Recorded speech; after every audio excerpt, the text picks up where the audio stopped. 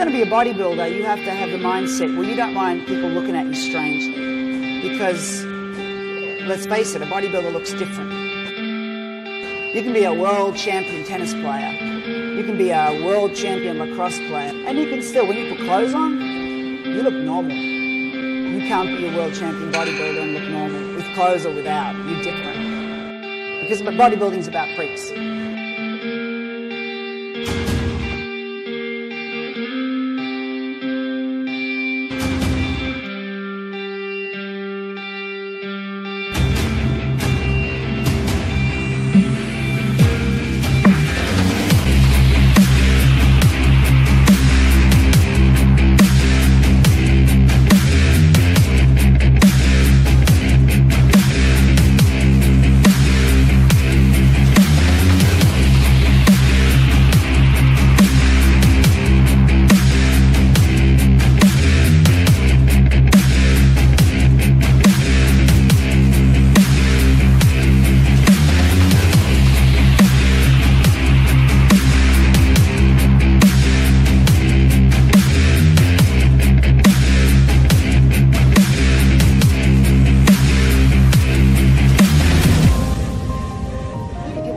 "Oh, do you like do you like being as big as you are?" And I'm like, "Well, yes.